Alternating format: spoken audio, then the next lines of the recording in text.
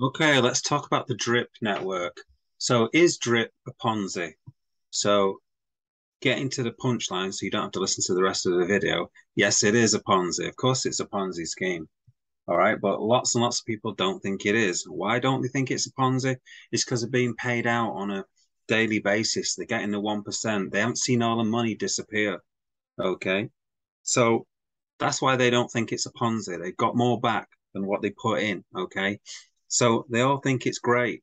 Okay. The greatest thing since sliced bread until it isn't the greatest thing since sliced bread. All right. So this is um, drip.community. This is the website. So if you haven't heard of Drip, um, it's a Ponzi scheme run by Forex Shark. Okay, so there's a red flag straight away. Forex Shark. Uh, Forex is, you know, lots of scammers in Forex business. And this guy, you've never seen his face, not doxed. He's called Forex Shark. Really? Okay. so the idea is that you put your money in. So let's say you put a hundred dollars in, and then you add it to this faucet, and then you get paid 1%. Another red flag, 1% on a daily basis. So another red flag. You, you don't get 1%. Okay, you can't earn 1%. So they pay out 1%. Okay. And you bought this drip with your $100 and it's free because you bought it through this fountain. But what they're saying is anytime you trade, so anytime you sell it, or you trade it or stake it or put it in farming or anything like that is a 10% fee on everything you do pretty much. So uh, I also typed in is drip a scam and I got to this site and there's a lot of stuff, blah, blah, blah, blah, blah, blah, blah, blah. Okay, is it a Ponzi and all of these kind of questions? So one of the questions about a Ponzi is, um, where where do you get your money from? So you're getting your money from new investors, paying the old investors. Okay, that's how you get it. There's no creation of wealth anywhere. All right. Now what he's saying is, if you don't understand how Drip is fully funded, then it looks superficially like a Ponzi scheme, complete with recruiting new investors. But that's like saying bank CDs are a Ponzi. So you mean I give you money and you give it and you give and you give me it back to me after holding it for six months with more money on top. Where does the more money come from exactly? Well, in a bank, they invest it into houses or some business or something like that. That's how they create the wealth, okay? And they give they give it they invest in a business. They give them ten thousand pounds, and then the business pays them back twelve thousand pounds. Okay, the bank takes a profit, and then out of that two thousand pounds, they pay you some money. Okay, that's how that works. Okay. That's not that's not the same as a Ponzi. Okay. Now, here's a list of transactions that charge the 10% tax. So sell anywhere 10%, buy non-fountain 10%, deposit or stake 10%, send wallet to wallet 10% fee, airdrops 10% fee, move from move from or to a ledger 10%, send anywhere 10%, claim withdraw 10%. Here are the exceptions. Buy from the fountain, so zero fee hydrate or compound, 5% fee. Also, there's a whale tax, 10% fees for 1% in dividends. And here's the whale tax for withdrawals over $1 million. Okay, blah, blah, blah, blah, blah, blah, blah.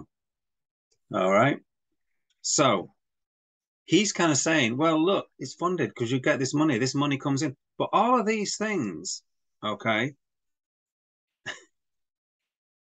this is just funds from new people putting in. This is this is the funds of, from people who are already in the system.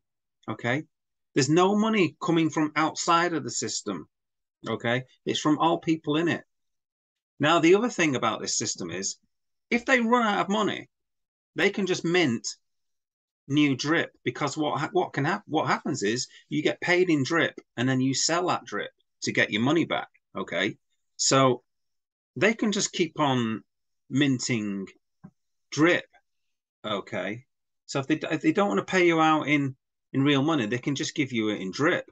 So they can just create unlimited amounts of drip.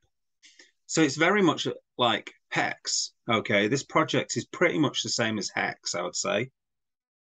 Uh, he's just, you know, just dressed it up in a different way. Hex and this, both the same. Okay. Um, you know, look on the white paper, for instance. So there's a white paper here. We have added a whale tax on withdrawals to help curb whales' ability to outpace other players in the game, forcing them to kick back some of their rewards to the community and maintain, listen, and maintain the sustainability of the project. Maintain the su sustainability of the project. Yeah, let that sink in. Maintain the sustainability of the project. So, in other words, it, it's not sustainable. All right, that's what that's what they're doing here. They're just keeping it going for a long. Uh, you know, they, they'll keep it going for a long time. This potentially. All right, but it'll all come crashing down in the end because it's a Ponzi scheme. Now, a lot of people say, "Oh, well, it's been going for a year or whatever." I've no idea how long it's been going. To be honest with you, it doesn't matter how long it's been going for. It's a Ponzi scheme. Bernie Madoff kept um, his Ponzi scheme going for 17 years. Okay. You can keep these Ponzi schemes going for a long time. It doesn't stop them being a Ponzi scheme. If you've made a profit, it doesn't mean it isn't a Ponzi scheme.